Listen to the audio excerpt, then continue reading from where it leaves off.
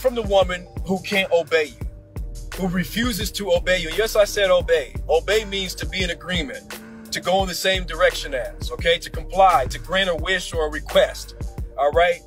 And you need a woman that that will do that. Look, let me tell you something. You need to be with a woman who is so humble, understanding, kind, and caring and loving that she can't wait to surrender to you.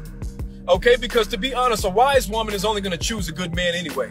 So if a woman is with a good man and she can't listen, well, she really shouldn't have been on his radar in the first place. She shouldn't have been nowhere near that man because that man is so serious about himself that he ain't playing with nobody.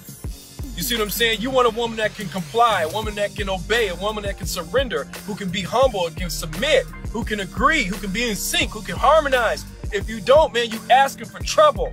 Okay, get rid of them women that call you boy. Boy bye, boy please, boy gone. You, man, you better stay the farthest away from them women.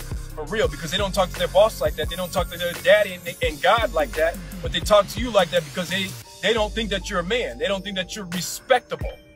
Okay? And so they'll address you as everything but that. Stay away from them.